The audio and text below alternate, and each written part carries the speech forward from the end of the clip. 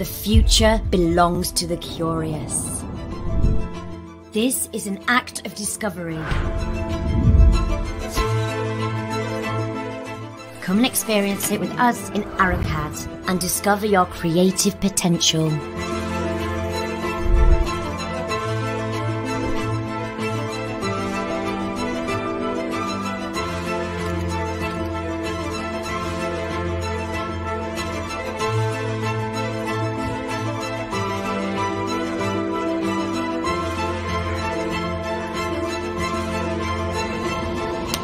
This is your path. This is your journey. You decide how it's going to be. Time to free your curiosity that's always in you. Come and experience it with us in ARUCAD and discover your creative potential.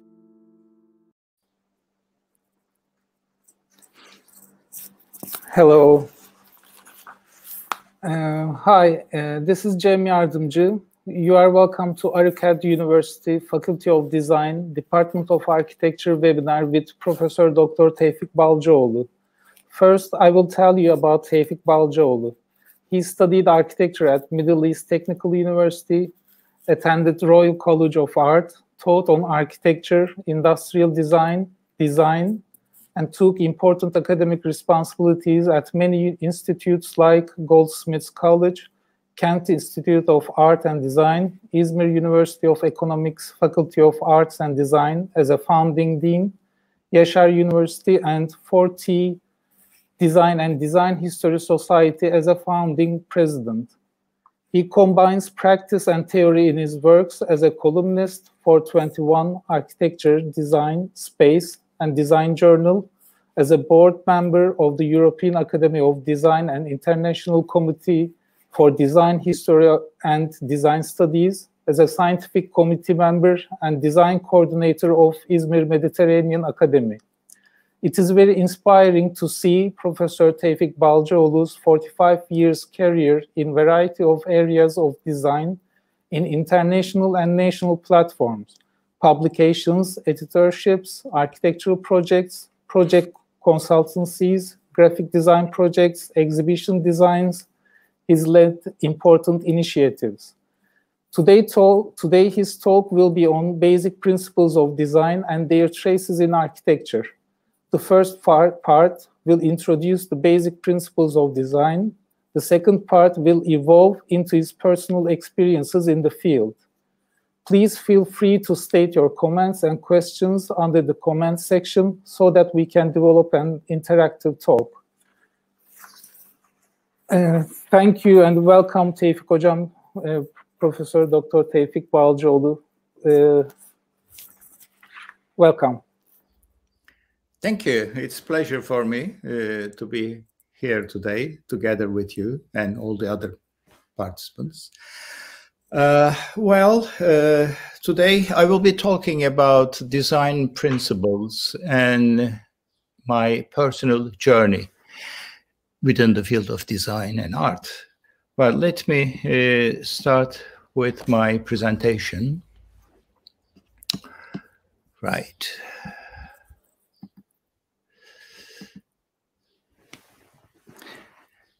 Okay. First, I would like to talk about the aim of this presentation with this presentation, I would like to achieve certain uh, uh, targets. First of all, uh, I will look critically into the elements and principles of design.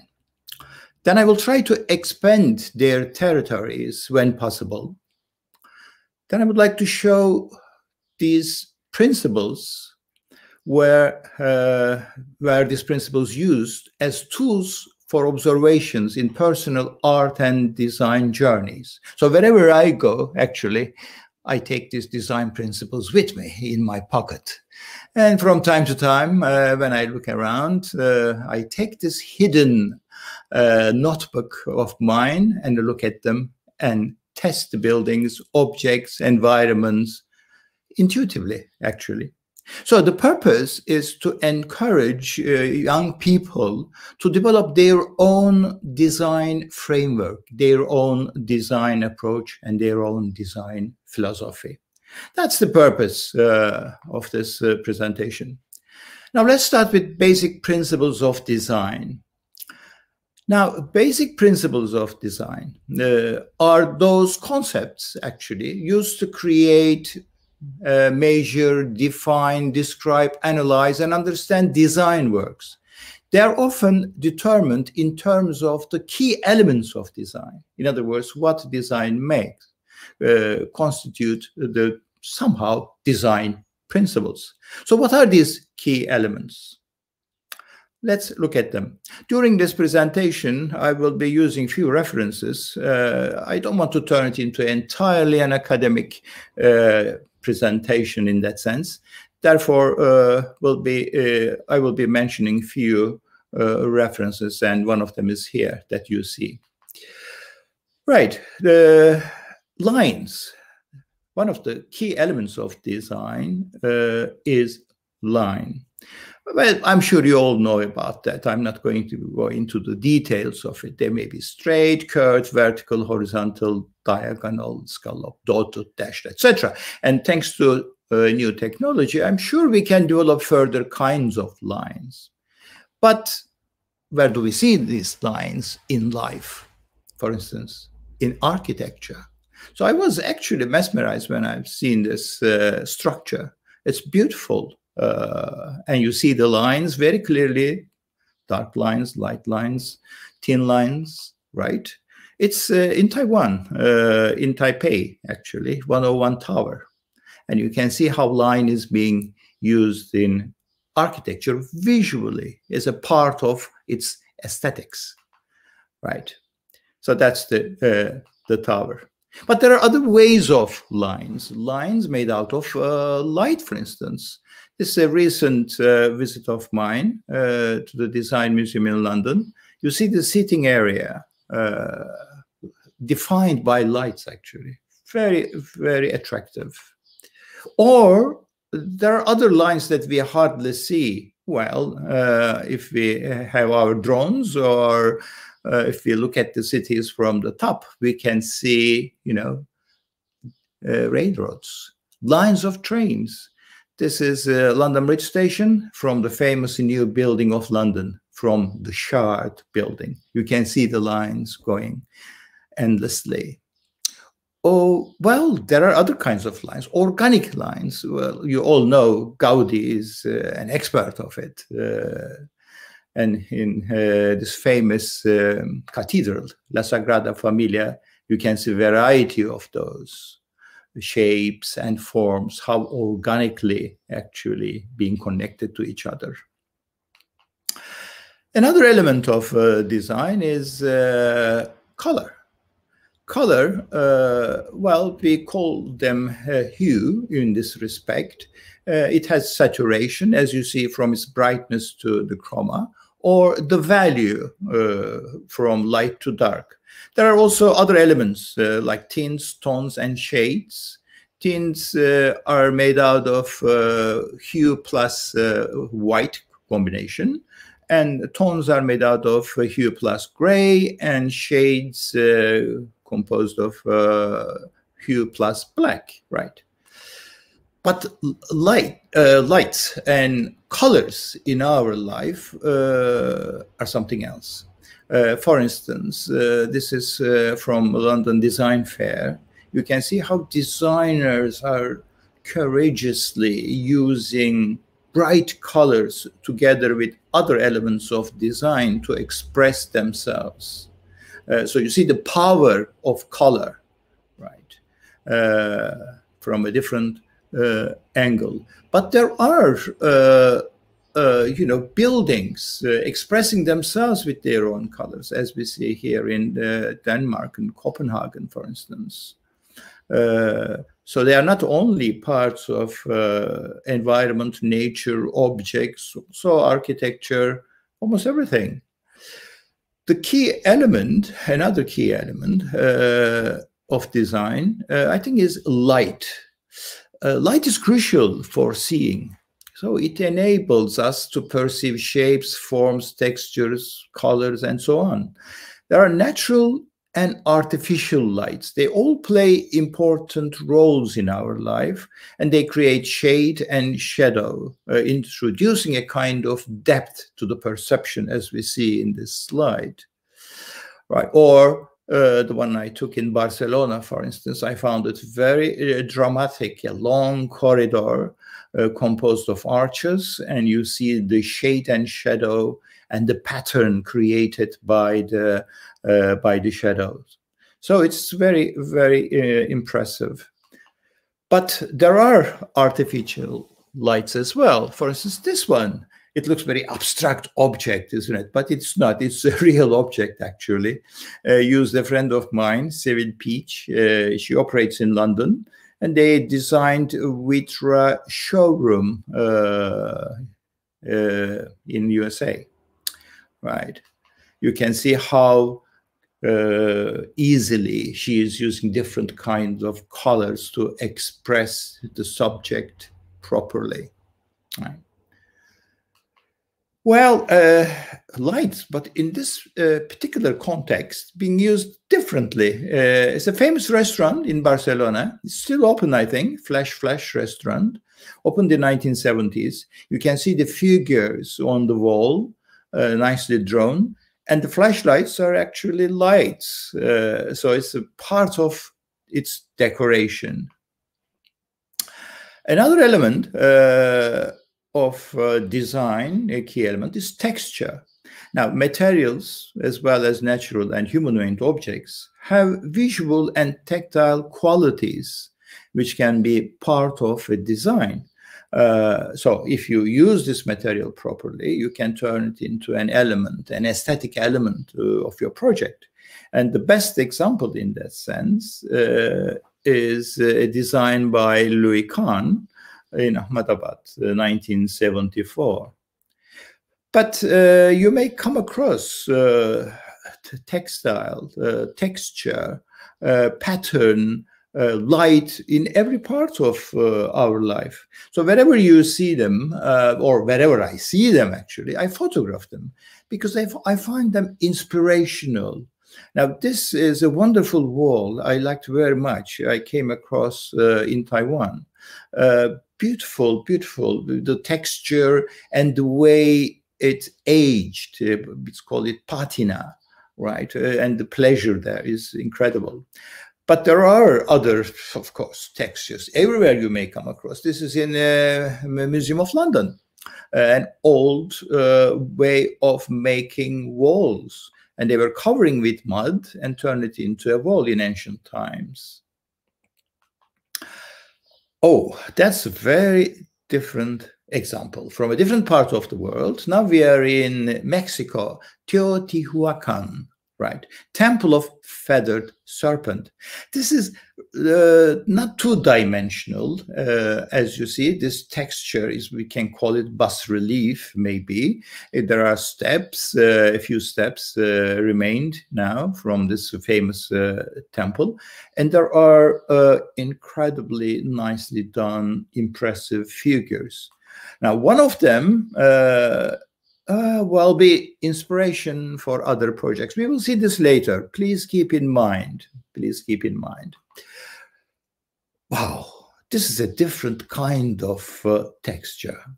Uh, glass, uh, transparent, semi-transparent, translucent, uh, and the way uh, it undulates from left to right, right to left, and what you see behind the orchestra Excellent, excellent. So Rem Koolhaas design, Casa de Musica in Porto, concert hall. You can see them, uh, but uh, in a very magical way. So this is a transparent texture. Hmm, well, it could be my invention, this term. well, uh, the final, maybe important elements of, of course, the essential, maybe elements of design, shapes and forms. But we all know them. I'm not going to count them one by one. But shape is two-dimensional, form is three-dimensional. Uh, there are geometric shapes and organic shapes. Uh, regular or irregular uh, shapes. You can uh, divide them as you want, but these shapes take place in our daily life. This is a very uh, impressive uh, memorial. You can see it's made out of uh, marble, stones, huge rectangular elements, but they vary their size uh, and the light, as you see, it was an afternoon when I took this photograph. Was beautiful uh, over there uh, in such a terrible memory. You know, memorial is not a terrible, but the me terrible memories of people died, uh, such a sad, uh, in one sense, uh, place and loneliness uh, that you feel when you walk through amongst those stones and you get lost that's very, very good design, but as you see, composed of uh, geometric elements. Well, there are other structures composed of geometric elements, although each single piece is a well-defined element. Uh, but the result is uh, not something that we can easily define. So you can make irregular things by using regular things. Uh, you can make those things out of brick, for instance well, uh, an idea. Yes, the Shard, uh, the recent uh, shiny building of London, uh, use a lot of geometry, uh, three-dimensional uh, forms, as you see clearly here. But before that, there was another famous pyramid. Uh, Pei is the architect in Louvre, right? Uh, and uh, he designed this famous entrance to the museum. Or what we see here, Gaudi, an organic, organic architecture. So the forms uh, some of them, of course, are well-defined geometric forms. When you look at carefully, you can see circles, rectangles, etc., but not always it's not always the case. That's why probably it's not finished yet, still being constructed. Now, after saying all these things, is it clear what design elements, elements of designs are? Well, for me, not. Now, at that point, I began to criticize these things. I look at the internet and I've seen these, well, seven essential elements of art, elements of art, principles of design, elements of art. When you look at them, there are all slightly different than each other. Are they principles of design? Are they principles of uh, art? Are they elements of design? Well, you never know. Uh, so probably it's open uh, uh, uh criticism. Uh, it's open to be explored, actually. and I try to identify here a few contradictions.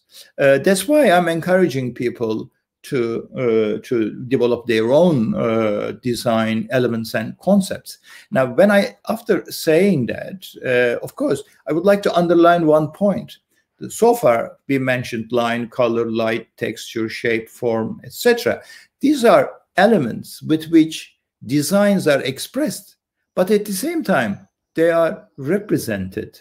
We, we can make designs with these things, lights and colors and textures, but we also represent them, as you see here in, in a drawing. Uh, uh, well, I think they forgot something. The material. For me, material is important. And also the tacit knowledge. These are the key elements, some key elements of design for me. For instance, uh, a pottery maker. Do you think he is looking at uh, the drawings? Sometimes, yes, they do but they have this tacit knowledge. They just sit there and create the forms. Or same thing with glass. Uh, you don't need uh, for basic things a preliminary preliminary design and drawings. Yes, in these days we have different techniques and we we, we are able to draw all these things uh, perfectly with our uh, computers. But uh, but originally the masters were uh, designing by making. It still exists, uh, and it's also open to all kinds of exploration. So that tacit knowledge uh, is there, I think. Uh, well, uh, surprise, surprise, hair design. Uh, well, it belongs to different periods, but you see here on the screen, I don't think they were hairdresser designing it on paper first and then trying to applying it. They were making it, making, designing by doing and making. That's what I mean by material-wise uh, design and tacit knowledge. Uh, another important element is, of course, uh, is space. But space is a totally different issue. I don't want to go into the details because it's very intriguing, very problematic, because space is the subject of design as well as its object. So let's leave it aside uh, at the moment, but just want to see two uh, contradictory uh, slides uh, to you. One uh, from America, from uh, Taos. You see the open space and it's the wilderness and the depth that it presents. and the other one is an enclosed one you see the contradictions, you see the differences, and uh, and maybe some similarities as well. Who knows? But this is not our subject today. Let's go ahead and start uh, looking at principles of design. Right. So far, we have looked uh, into elements of design, how we can make design with that, but then uh, how, what our uh, concepts and ideas, where do they come from? How do we use them to create our design? So these are the principles, some principles of design. Proportion, is uh, one of them. Now, uh, it says the relationship of parts of a design to each other and to the whole. Right, I repeat this. The relationship of the parts of a design to each other and to the whole. Right. This sentence reminds me something. This belongs to actually 18th century, the relationship between parts and the whole. We still use it. Where does it come from? It comes from this gentleman, right? I'm not sure whether you will recognize him. Uh, I didn't. Uh, I found it later on after finding his uh, definition of design. Yes, Jean-Jacques Rousseau defined what design is. Surprise, surprise. It goes back to 1768. 68, uh, Jean-Jacques Rousseau uh, published a dictionary, a dictionary of music, not design, no, music. And a year after, this was translated into English by uh, uh, and he added uh, that a section devoted to um, Jean-Jacques Rousseau. Right. Uh, I found this documents at British uh, Library years and years ago when I was doing my PhD, and I was so excited about that, touching 1768 publications of Jean-Jacques Rousseau. Well, okay, that's that's another uh, story. I'm so sorry why this happened. This shouldn't. Anyway, sorry about that. Um, so let's go back to Jean-Jacques Rousseau uh, there is an item called design. Design. And that's the definition. Of course, I took this from an English translation. I did not translate it. Uh, uh, it says, it's not sufficient to compose beautiful airs and a pleasing harmony. All this must be joined by a principal subject to which all the parts of the work must be connected and by which it may become one. Thus, unity should reign in every air, in the movement, the character, the harmony, and the modulation. The whole must have reference to one general idea which unites it. It's a beautiful definition of design in one sense. We still keep using these concepts, movements, harmony, character, modulation, and so on. So, uh, where will where will we go from there? Yes, uh, certain criteria, and one of them is this: the golden ratio. Golden ratio, as you see here uh, on the screen, uh, it's 1.618 actually. Uh, imagine a rectangle. Uh, one part is A, the other uh, part is A plus B. So that's the formula a plus b divided by a is equal to a uh, divided by b. right? The result 1.68. So this has been used in ancient times very efficiently. For instance, here in Parthenon, uh, Athens, uh, 5th century BC, or in Renaissance period, uh, the famous architect Leon Battista Alberti in Florence, he used this uh, formulation to create a well uh, uh, proportioned building. Or later on, this is a Georgian style house uh, in England, and uh, when you analyze it according to golden ratio, you can see the proportions, uh, how well fitted actually. Ah, this is a, this is a different story. This is uh, Inigo Jones, uh, 1622, uh, London, uh, and he designed a banqueting hall. Now here he developed his own understanding of stage uh, space. Uh, Inigo Jones is an interesting person. He was in, influenced by Palladio and brought that architecture uh, into England. It was composed of two cubes. That was his understanding of internal space and ratio. Two cubes, right? This is the space, the interior. You can easily feel it that it was composed of two cubes almost.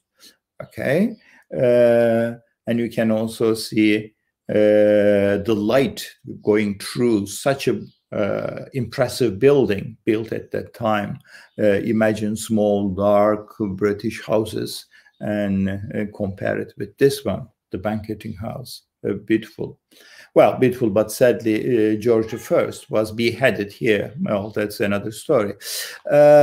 Now, it's, it, I will show you a few interesting details. Maybe you notice what's happening on the floor. Actually, uh, there are big ladder cushions. So uh, visitors, they come and lay down uh, and look at the ceiling.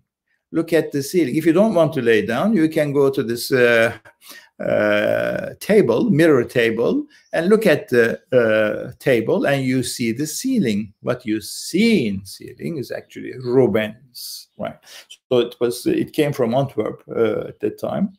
Uh, and Rubens, of course, was a famous Flemish uh, painter. Uh, and decorated this building. The simplicity, beauty, well, I don't want to say more. Okay, uh, then uh, obviously the scale becomes important, the relationship of our body with the space we are in. Uh, now it goes back to uh, Leonardo uh, and uh, later in 1936, Neufert, the famous German architect, published this architect's data book. and informed us about the human dimensions. Uh, it's important because we are designing for people. If we don't know people, how will we design for them? Uh, but knowing not only uh, emotionally, psychologically, socially, but also physically as well, their capabilities, abilities, these are important issues. Right. Uh, so uh, Le Corbusier developed his own Modulor in 1953. So I brought them together side by side to make a comparison. You can see the similarities, uh, more or less. They are same actually. But there is something wrong here. There is something, well, uh, I'm not like them. Look at this. We are people. We are in all different shapes. How can we we, we will be standardized. Uh, it's not possible. So that's one of the contemporary criticism, probably, to be able to design. I think it's important to be able to design according to uh, people. People belongs to different uh, race, size, etc. Right. That's the that's the point regarding this ideal man figure, I guess. Oh, another principle now we face is uh, the harmony. Uh, harmony is the effect created by high level of similarities amongst parts constituting the whole together with the elimination of controversy and contradictions. Uh, so the harmony, for instance, exists here. Uh, they are different, but they are side by side. Uh, they are talking with the same language. Uh, they got uh, similar colors, similar materials, similar function, and then you see that they are all different though. Each individual there forming the harmony can be different, not necessarily the same. Similarity is very important, but uh, it shouldn't disturb us.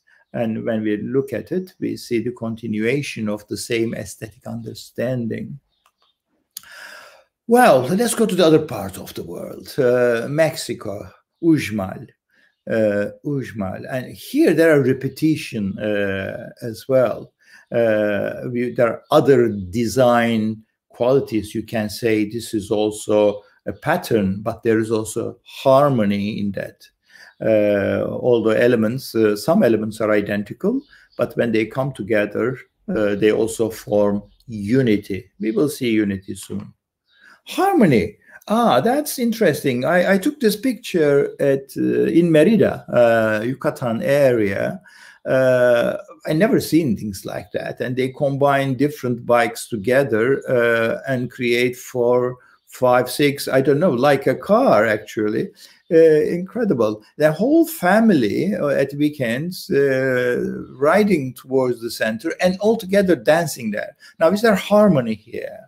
Now, the individuals are different, but they have uh, a common purpose. They come together and they function together towards a certain aim.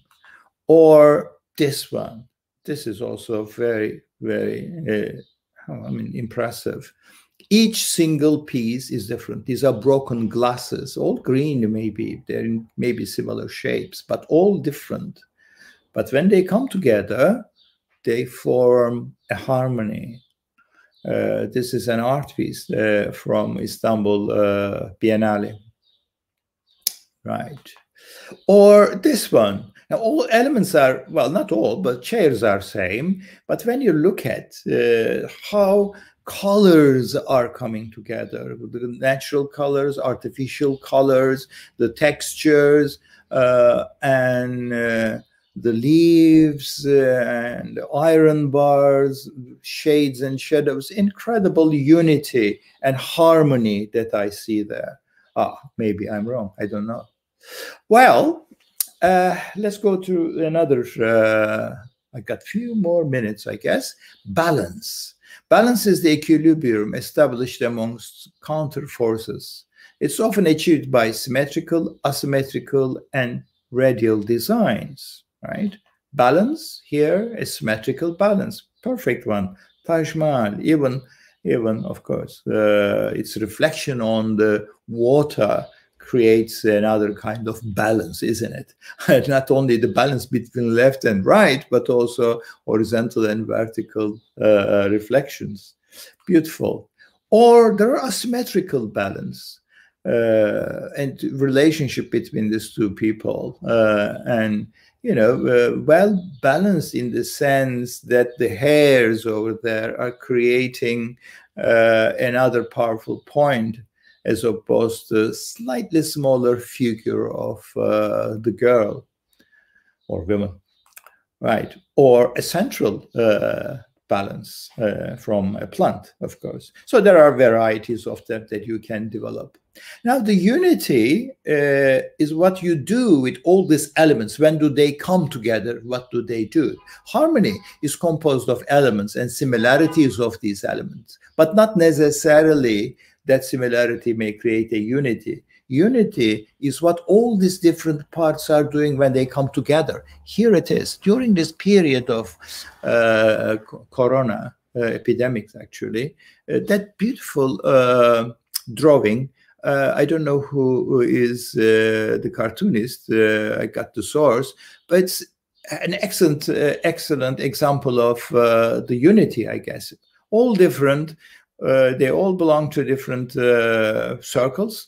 They have their own instruments or singing or doing things, but they share the same worry.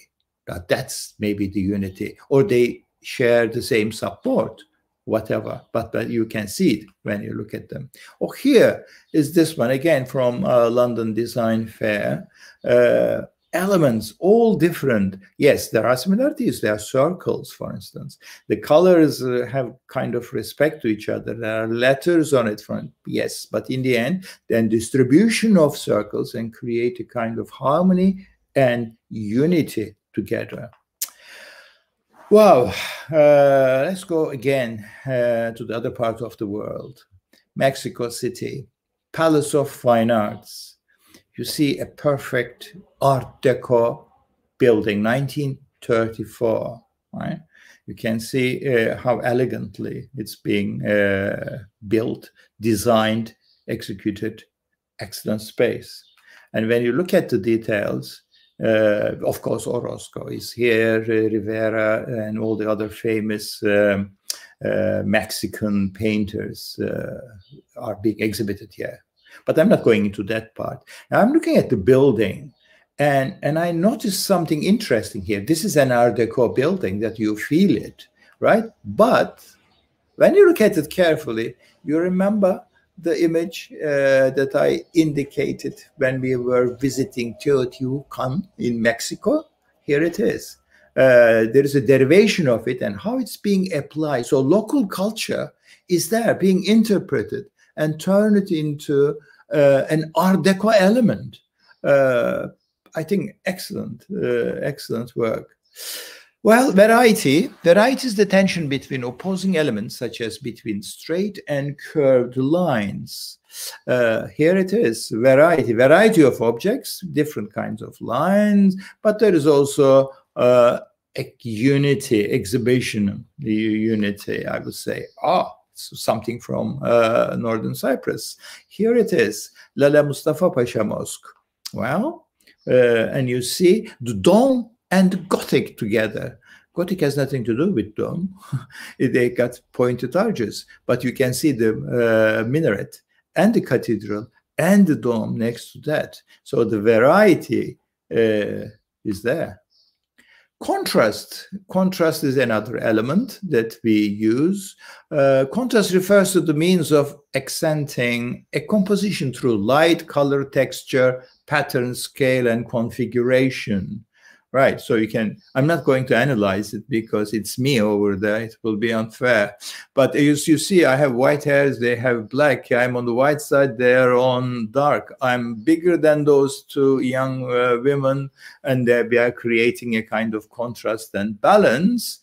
But the most beautiful one is probably this uh, I took this photograph in, in London, uh, Serpentine Pavilion in 2018. Uh, Frida uh, Escobedo designed the structure. There's a gallery over there in Hyde Park, Serpentine. And each year they organize big exhibitions and invite a famous architect, a young architect, a bright designer to build a structure. It, this is one of them. It's a beautiful pavilion beautiful pavilion. Uh, and it, it, stays there a few months and then they remove it actually. Uh, and you, you, see here uh, the pattern, the light, all the other criteria so far mentioned or the principles of design.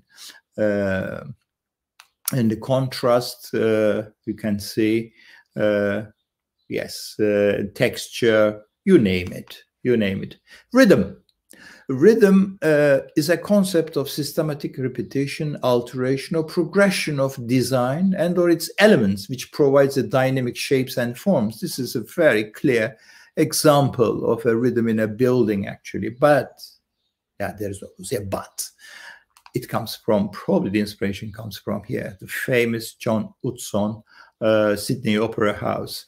I'm sorry, I think there is something... Uh, here. I hope you are not able to see it, but I cannot uh, somehow uh, close it down. Hello, are you there? You hear me? Hello?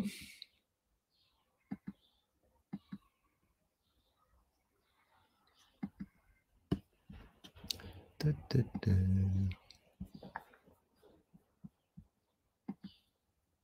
Yes, here we are.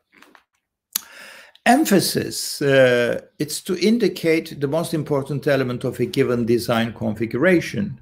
So uh, the, mostly the central part is that one, but that that's the that's how can I describe it? It's like a, a floating object. Uh, it's a sculpture in Porto, uh, and while you are driving, and you come across this beautiful, uh, beautiful. Uh, how could I? Uh, I wouldn't say uh, yes. Uh, I don't know what to say. Actually, the material it reminds you, of course, the fishermen, and and the shape is like a space uh, spaceship with a beautiful flying object. Uh, she changes, it's called, right? Uh, so this is the emphasis, I guess. Now, another emphasis that I will now uh, indicate goes uh, to uh, Alvaro Siza's building. this is 1958, a restaurant, famous architect uh, the building is called Boa Nova Tea House. Well, when you look at it, you say, well, what's important this one? Nothing. No.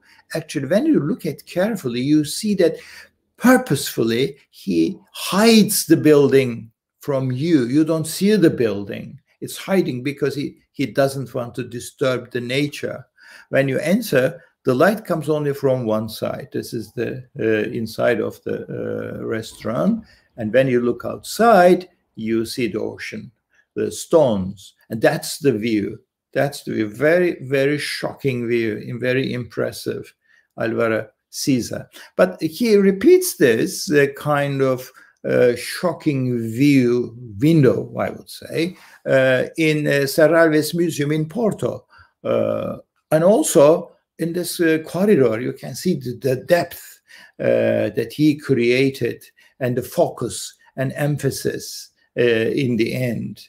Emphasis to the person or light and whatever. But it must be in their tradition. This uh, is a private house, belongs to a friend's father. when I've been there, I was surprised actually. Look at this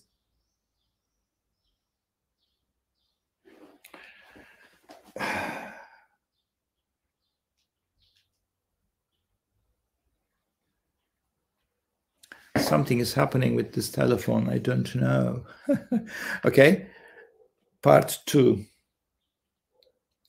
Uh, right, very quickly, I will be, I don't think I have much time, but I will take you through very quickly uh, and try to uh, analyze these buildings. Uh, you can see the texture, you can see the tension, variety, and movement uh, and also uh, revolving body of uh, Calatrava's to turning torso in, in, in Malmö, Sweden. Again, while we are in Sweden, let's visit another important building, goes back to 1957. Uh, you see clearly the geometric forms and a beautiful interior composed of regular patterns uh, and maybe dramatic circular uh, uh, Uh, uh, stools and lights, uh, etc.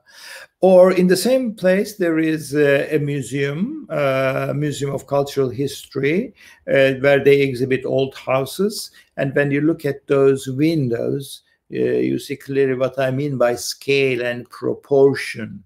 And here uh, you will see a person in order to understand the scale of this building. And this is the entrance actually uh, to these old uh, houses. And the scale is this uh, because of the cold, obviously, uh, they designed it according to the climate. Uh, another interesting part, as you see, it's covered by uh, papers. Now, wallpapers were very, very popular 19th century, 18th, 19th century in England, but it was very expensive. So they used uh, newspapers for that. Well, it's also protecting uh, people from the cold, I guess an asymmetrical building with a different kind of texture, movement, the dynamism that we can see, uh, and also uh, the patina, the old different kind of materials on the surface, or a regular symmetrical one in the same uh, the museum. Now here I will uh, make a comparison uh, because this disturbs me. What disturbs me is because of that. Il Tempietto, designed by Bramante in 1502 uh, in Rome, but the proportions here is very different than the proportion of this one. Uh, uh, the dome is highly, uh, highly exaggerated or asymmetrical uh, regular geometric forms, but this time it's uh, tilted. Again, we are in Denmark. We are talking about the Black Diamond, the library. Or uh, in Malmö, another dynamic activity uh, with, with movement, visiting the sculpture. The sculptures are on top of, uh, you know, statues uh, on columns, and you can hardly reach them. Here you are uh, they built this uh, scaffoldings and people go and visit them or in uh, clothes, in a fashion, a fabric, uh, or dress, you can find the similar concepts: the rhythm, dynamism, movement, variety, etc. And they put it uh, next to Philippe Starck's design. Uh, looks very nice. Or you can observe these things on the road, in the streets, positioning, posture, two people they don't know each other they're just crossing by and it doing the same thing at the same time but i like this moment uh, or texture pattern variety here in this building obviously uh, very very important one in center pompidou paris uh, i think i'm uh, hello uh, 45 minutes maybe i should uh, stop somewhere here or go five minutes more quickly, right? We switched to emphasis, color, rhythm, variety, and dynamism. Here it is. This is a macro uh, museum in Rome. You can see the integration with outside and inside. You can also notice the use of color by the architect, uh, Odile Decq. Uh, she loves black and red and use this asymmetric forms uh, to create uh, a wonderful, impressive interior for a contemporary art uh, museum. She is Odile Decq. Uh, Odile Decq in Ephesus when she visited us. Uh, but now I would like to make another short visit, this time from Macro to MAXXI. Uh, both museums are relatively new. Uh, they are in uh, Rome. Uh, and this is the museum designed by Zaha Hadid. what I like is this part. Zaha got a wonderful respect to environment and created this um, uh, unusual, well uh, shaped uh, museum piece and covered it with mirror. When you look at it, you see the other buildings around. The traditional buildings are being reflected over there. So the building accommodates their neighbors within itself.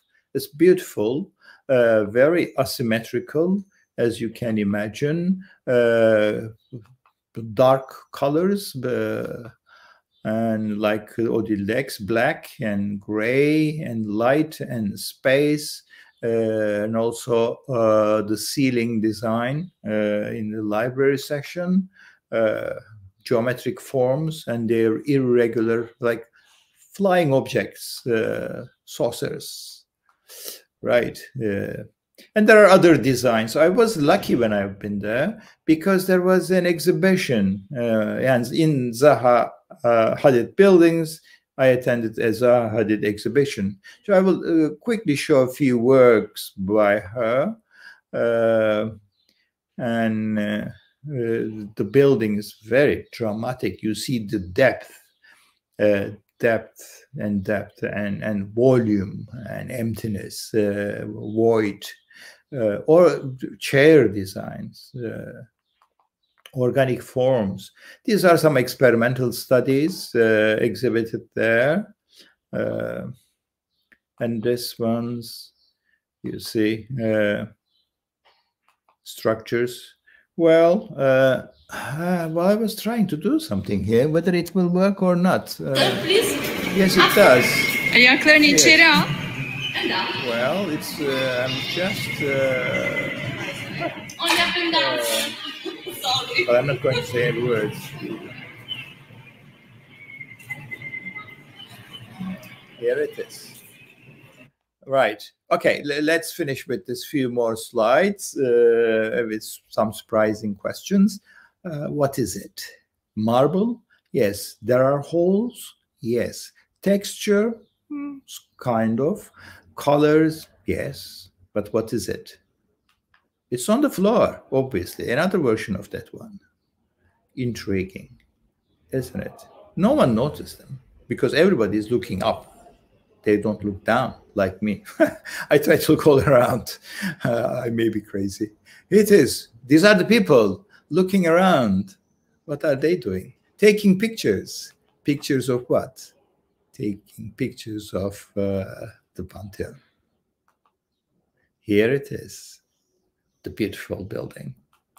Uh, right.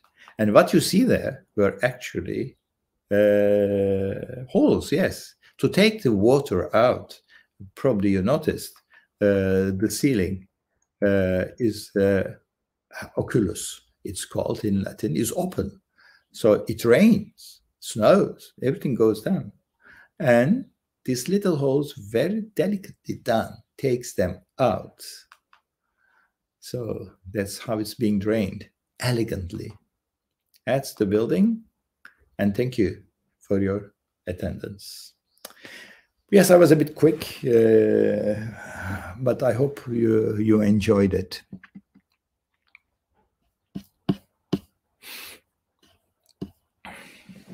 Hello. Hello, uh, Tevfik Hocam.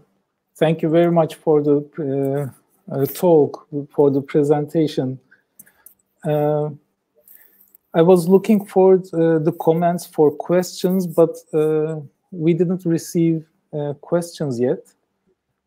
Um, Probably I talked too fast. No, it was really uh, uh, exciting, and uh, there were lots of marks to think about.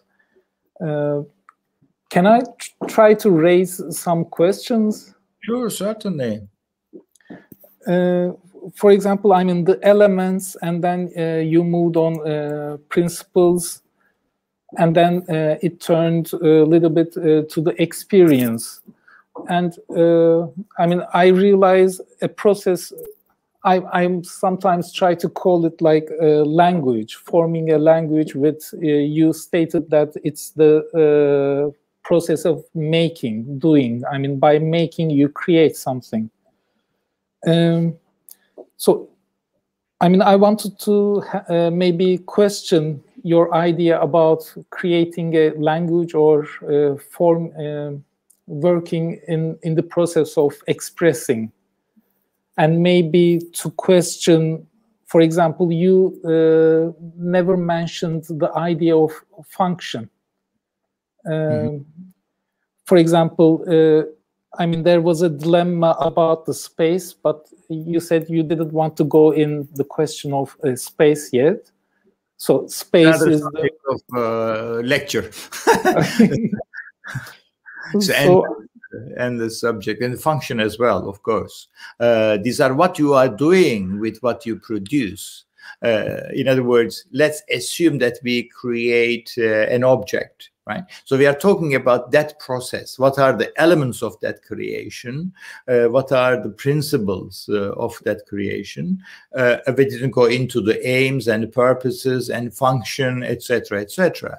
Obviously, designs are to fulfill certain functions.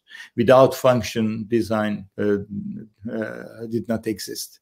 it becomes an art object uh, yes, that's the main difference for me between an art object and design. Uh, designs are functional things.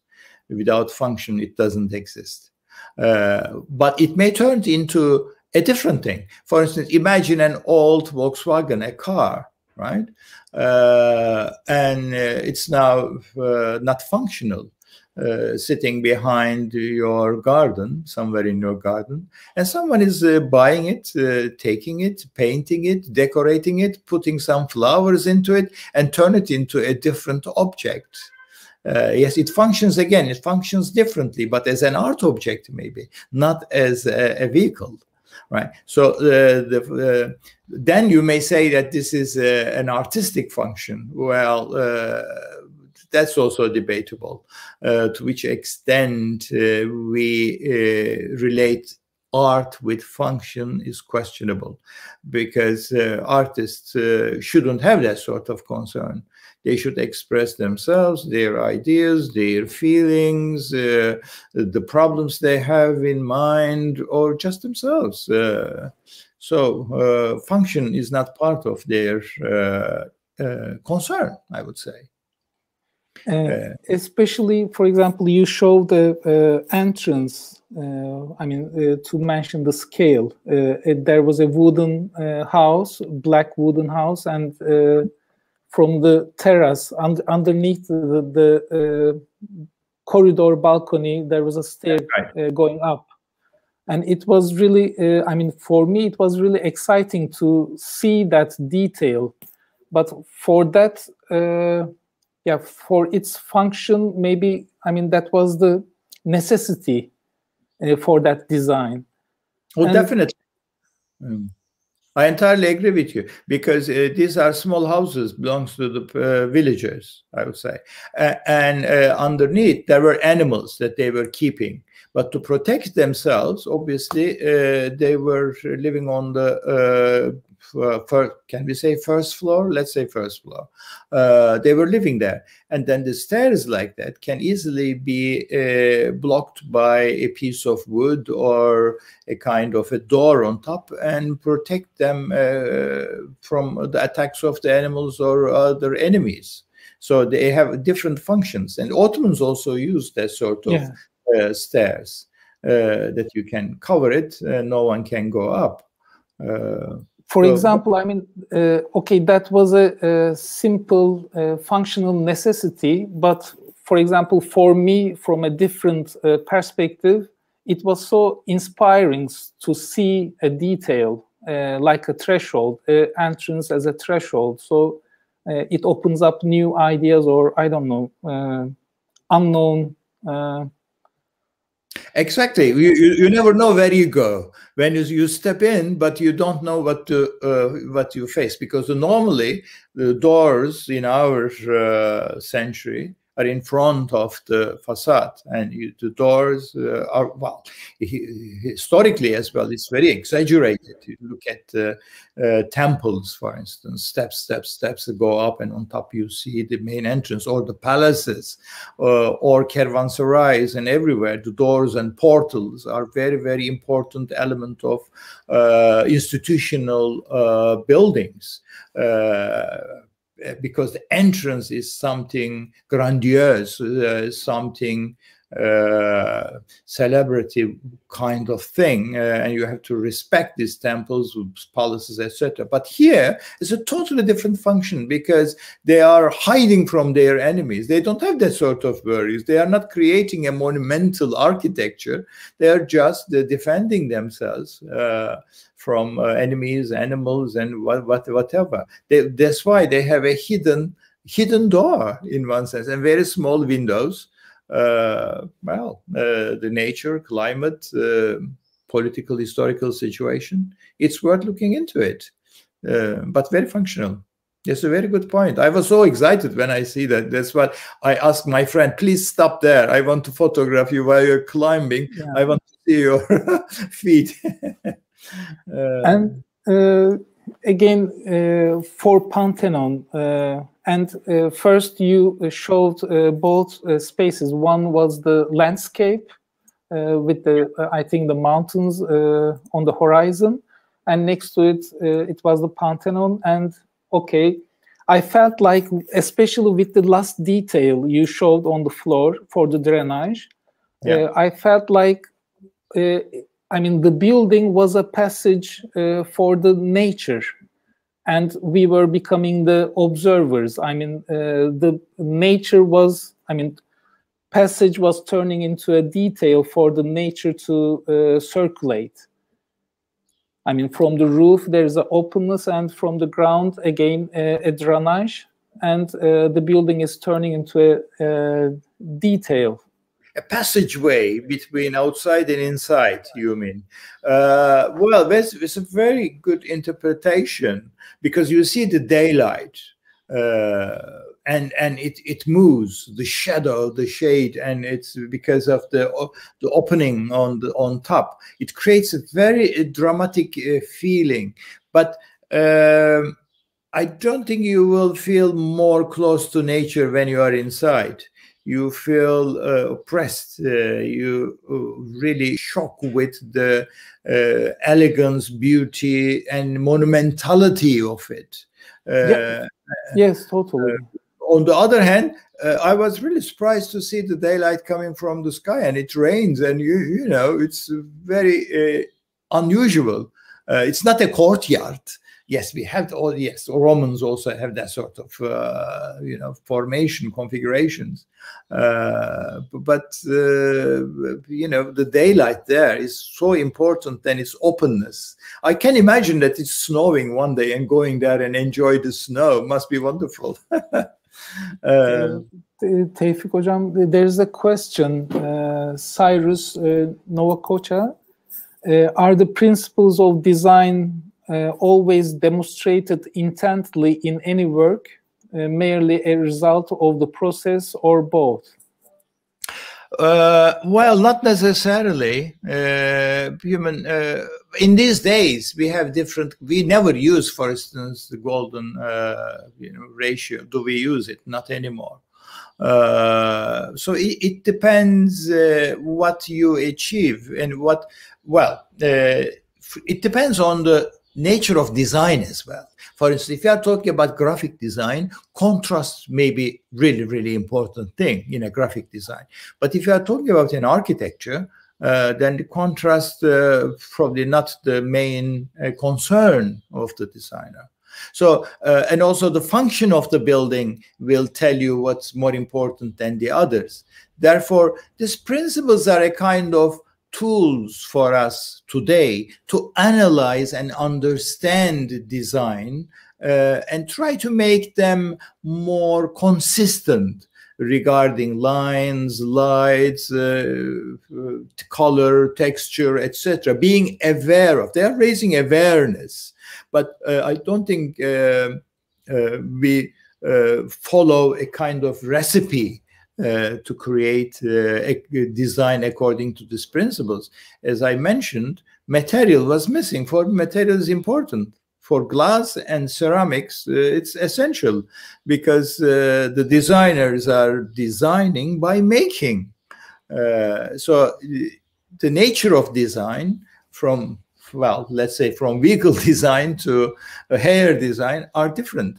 Uh, therefore, different principles uh, will have different priorities, and some could be defined and created by you. As you say very rightly, vocabulary is important. Uh, you said, yes, you can create your own vocabulary, your own understanding. That's what I'm encouraging people.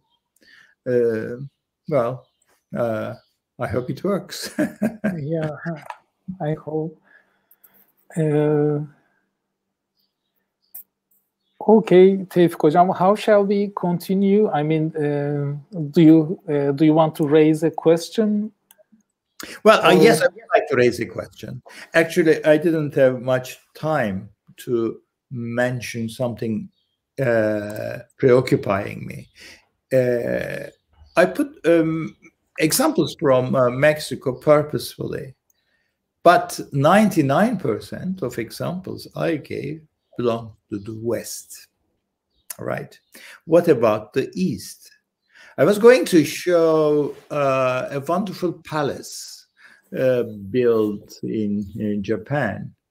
Uh, and um, but I didn't have time to show it to you. And its uh, uh, integration with nature and different design principles there, we need to understand it. That's the that's the question I'm, I'm, I'm uh, asking. Uh, these are all Western inventions in quotation. So what about other designs? Do we need uh, new ways of seeing them? If so, what are they? That's my question that I would like to pose. and right. maybe also uh, every individual uh,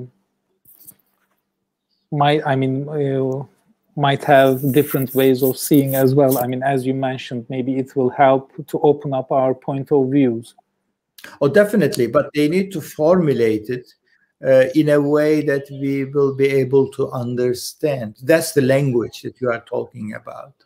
We all have different approach we all have different understandings but unless we formulate them present them share them discuss them we cannot take them further we need a solid ground uh, to make those things uh, viable uh, for instance uh, i'll give you an example uh, the, the Malmö example, you remember the statues over there and there was scaffolding around it? 20 years ago, I suggested this to a friend of mine. She is an artist. I said, Look, we were in London at that time. There are lots of statues on top of the columns on Trafalgar Square in many places. No one sees them. These poor, uh, you know, famous uh, commanders, uh, personalities are on their own, on top of the column, uh, close to the sky, far from the people. Why don't we build, as an artist, scaffoldings and go up and visit them, say hello to them face to face, and then go down? Uh, it was a kind of a funny project. They said they, they didn't take me seriously.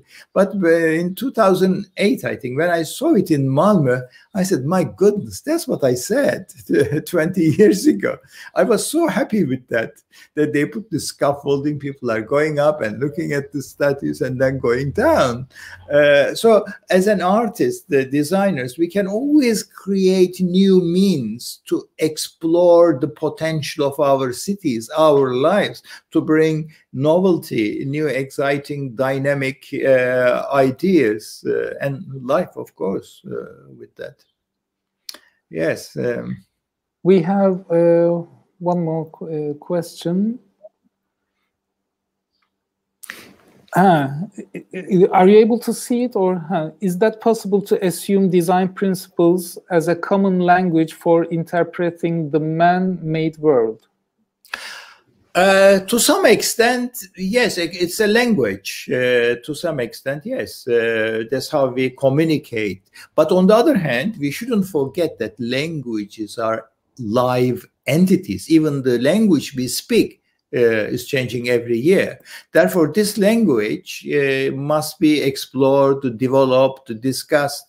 it's not a kind of static thing uh, or cast on uh, marble.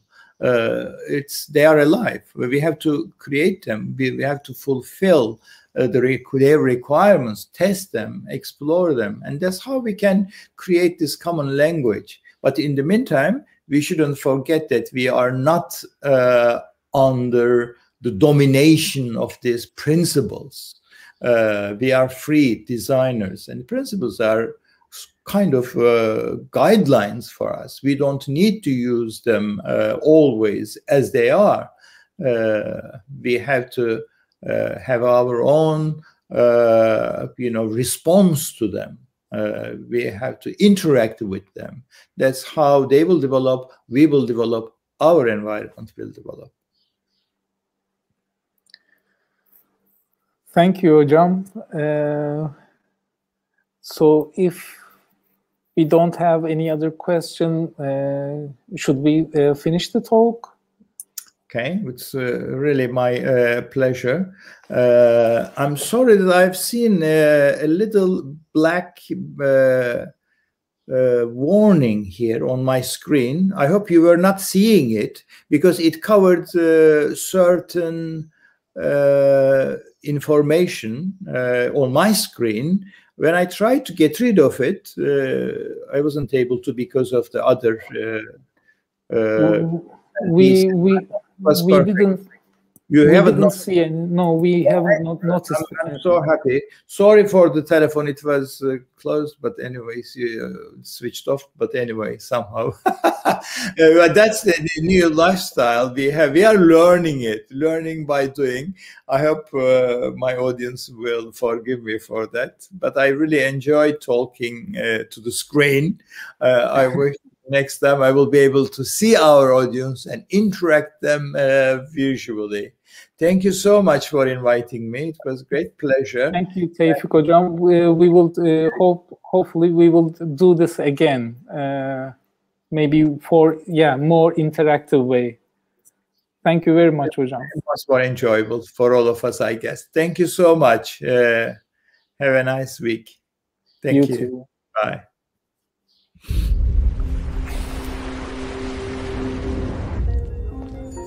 Do you remember how you discovered the world around you? Can you hear the beat of life? Can you hear it by seeing it and feeling with all your senses? Hey, can you still hear it?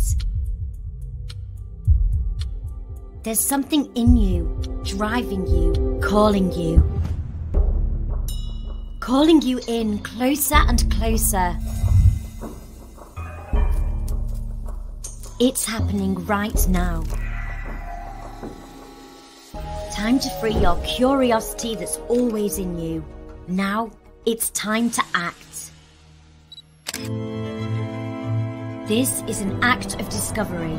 It requires looking to the world in new ways.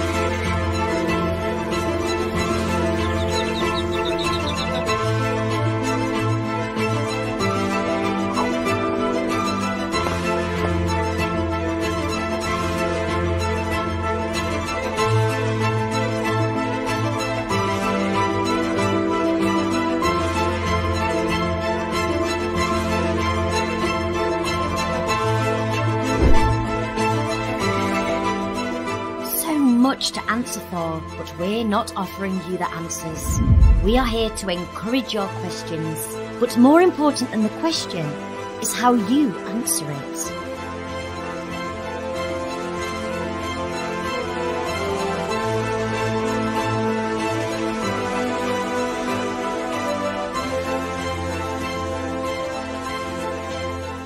Try the ordinary, then try the unusual. To live is learn, and to learn is to live. Live, learn. It's an endless process. This is your path. This is your journey. You decide how it's going to be. Just enjoy every moment of it.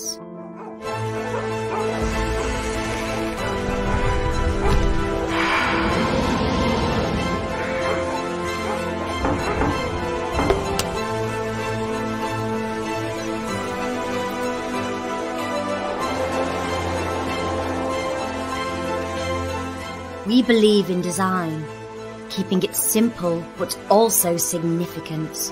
We believe in art for looking at the world with a unique perspective. We believe in creativity for communicating better with the world. Creativity takes courage. The future belongs to the curious. Come and experience it with us in ARUCAD and discover your creative potential.